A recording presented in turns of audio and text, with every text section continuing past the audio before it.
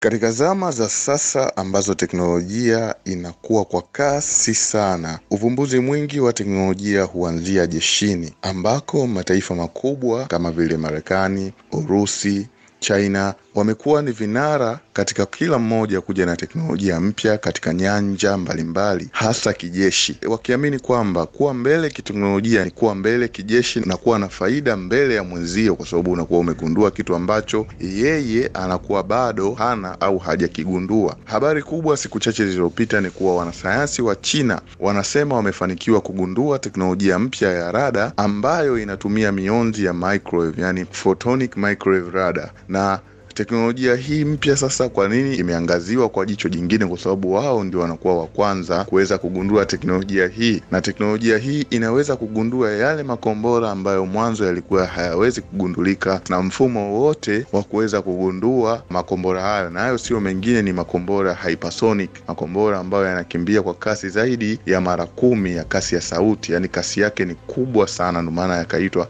hypersonic. Kwa sababu daraja la kasi ya makombora limegawanyika. Kuna yale ambayo yanakuwa ni subsonic, ambayo subsonic hayakimbii kasi zaidi ya sauti, alafu yanakuja yale ya supersonic, yanakimbia kasi mara mbili mpaka tatu ya sauti, alafu yanakuja haya ambayo ni hypersonic, ambayo yanakimbia kasi kuanzia mara tano zaidi ya sauti, ambayo haya hypersonic ndo dunia sasa hivi mataifa makubwa yanakimbizana kuyamiliki, ambako Urusi wao ndio wa kwanza walikuwa kutangaza kumiliki makombora haya, alafu wakafa ya China alafu wakafatia uh, nchi kama vile North Korea, lakini Marekani naye siku za, ka, za karibuni zilizopita wametangaza nao kugundua makombora kama haya. Lakini changamoto kwenye makombora kama haya ilikuwa ni unawezaje kuligundua na unawezaje kulizuia? Hiyo ndo, makom, ndo changamoto, ambapo mwaka elfu mbili na kumi na nane wakati Rais Putin anatangaza ugunduzi wa makombora haya kwa Urusi, alisema wao ndio wa kwanza na hamna nchi nyingine ambayo imegundua kipindi kile walivyokuwa wanatangaza,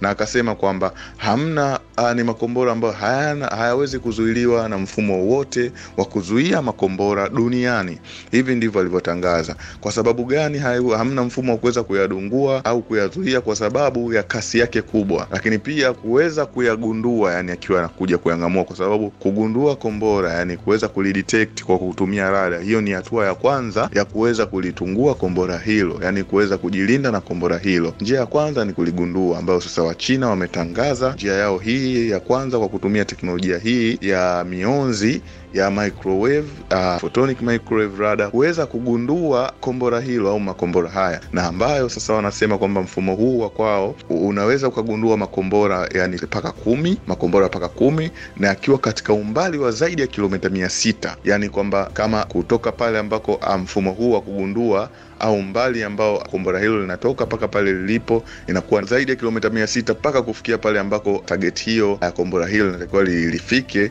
mifumo hii inaweza ikagundua. Lakini mbali na hivyo, hata kama kombora hilo litakuwa lina kasi mara ishirini ya sauti, yani Mach 20, mifumo hii inaweza ikagundua. Sasa ugunduzi huu umefanywa na timu ya mradi ambayo uh, mradi huo wa ugunduzi ambayo imefanyika katika chuo kikuu cha huko China cha Tsinghua na imeongozwa na profesa aliyejulikana kwa jina la Zeng Xiaoping na tayari hatua hii imeleta mshtuko duniani na mataifa mengi yameshtuka, kwa sababu ni hatua ambayo wao ndio wa kwanza kusema wana uwezo wa kudetect na kugundua makombora haya. Kumbuka kwamba wakati Urusi anatumia Ukraine mifumo ya Patriot ilikuwa inasemwa kwamba haina uwezo wa kugundua wa kuyatungua makombora ya, ya Kinzhal yale ya hypersonic ya Urusi ambayo anayatumia, lakini wa China wenyewe wamekuja na teknolojia hii